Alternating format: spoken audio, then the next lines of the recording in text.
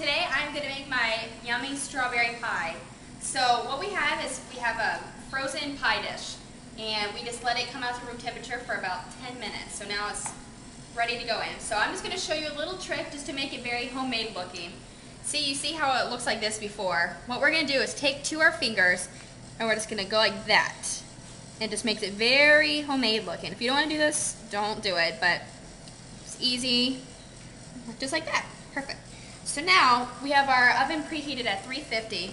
We're going to take our fork. This is very important because it, otherwise it'll puff up. Take our fork and make little slits. Not little slits, little holes. All around the sides. Just like that.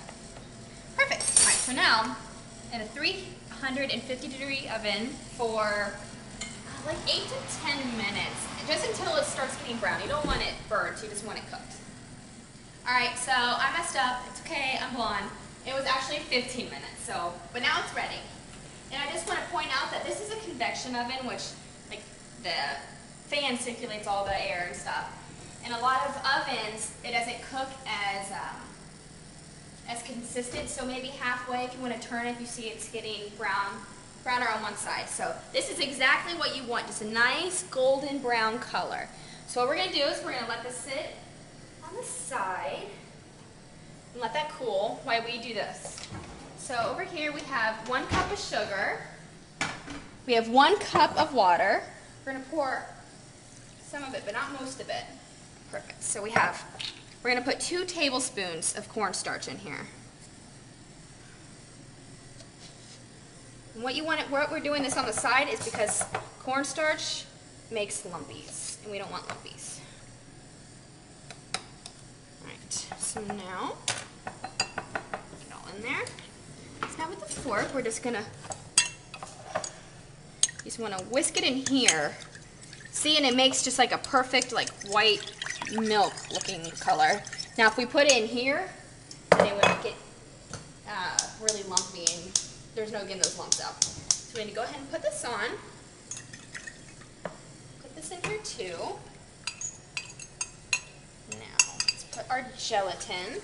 We want to cook it until it's nice and thick. So here we have our gelatin. You want about three ounces total.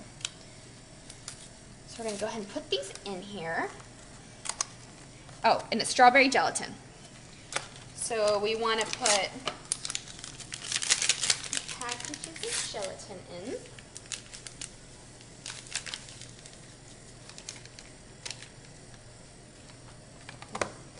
these are 1.5, so.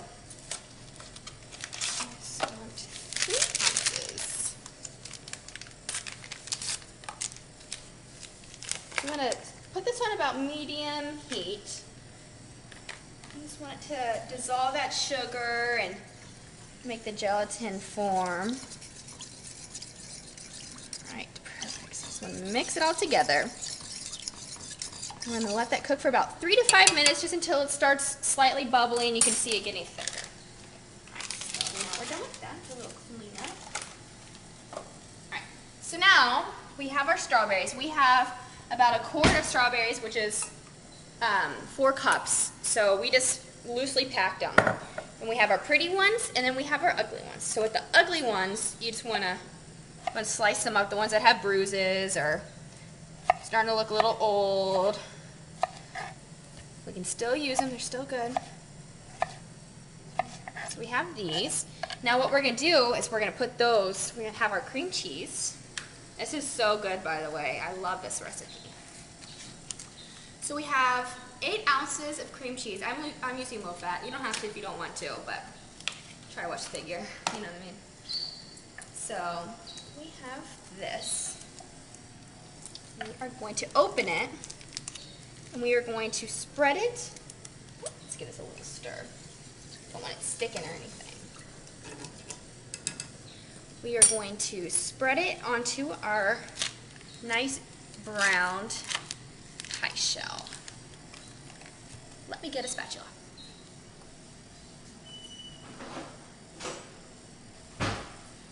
So we have our spatula, and we have our cream cheese. I'm gonna go ahead and put it all in here. If you want to, this is just if you want to, you can go ahead and put this in like a bowl and mix it around with um, some more sugar, give it a little bit more sweetness, or if you want to put some vanilla extract in there and go crazy, you can. So this is still a little hard. Oh, and you want to leave your cream cheese out so it's from temperature. You don't want it cold. So it won't be so easy to spread. Just want to go ahead and try and spread this around. Our pie crust has cooled down a little bit. Makes it easier for handling. This is the hardest part of the whole thing, so this is the hardest part, it's okay. Just want to make it kind of even because you want the strawberries to sit evenly. So you're going to pour that gelatin over the whole thing, and it's going to make it delicious. So we're going to go ahead put this all on the bottom.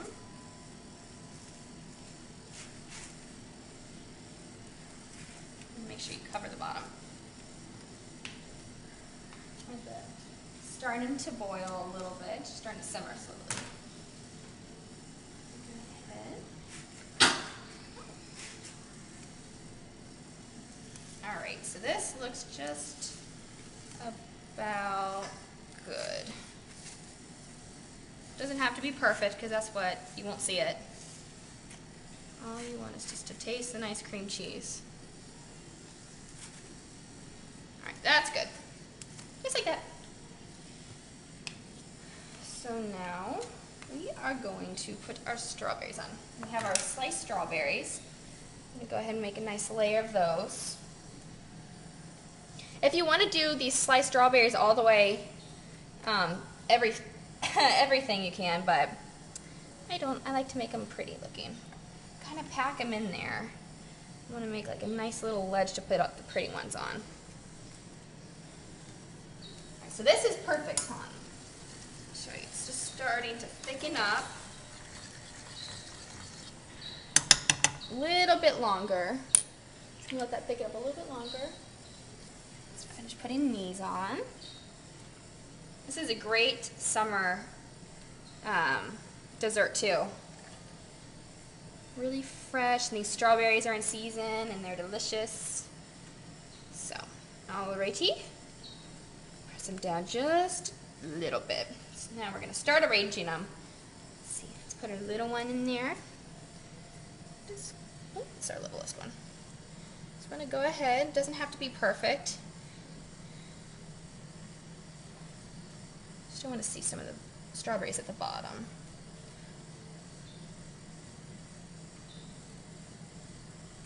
All right. And then you're going to put the gelatin over them. All you'll see are these yummy strawberries. Now, if you want to do more on the top, you can, but whatever, it's fine. All right. this is really bubbling. Now, we just want to turn this off, let it cool for just about two minutes. So in two minutes, when it's cooled, we'll come back and we're just going to spoon it over and pour it on top of it. Alright, so it's been about 10 to 15 minutes. We just want to cool it slightly and it's become nice and thick. So with our spoon, we just want to pour it over the berries. Make them nice and shiny. And make sure you cover all of them. Just like that. Look how nice it's going on too. And then when you refrigerate it, it'll get nice and the gelatin and be perfect. Perfect summer dessert. Alrighty. Pour it all over here.